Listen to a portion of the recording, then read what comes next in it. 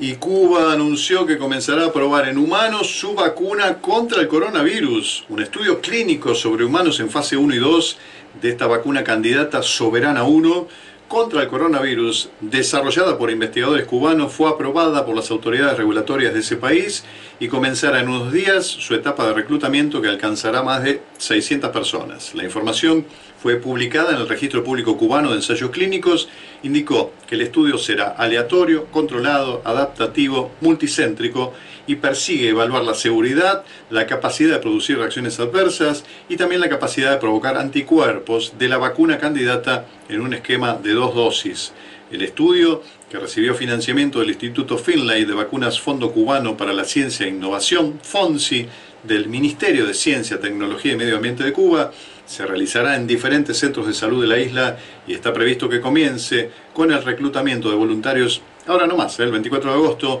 y que finalice con las pruebas a fines de octubre. Podrán participar del estudio cualquier persona que tenga entre 19 y 80 años con buen estado de salud que se evaluará por laboratorio y examen clínico. El objetivo es alcanzar en estas fases a 676 voluntarios. De esta manera, la vacuna cubana se suma a las 29 candidatas que se encuentran siendo probadas en seres humanos, seis de las cuales están en fase 3, la última fase en los estudios clínicos.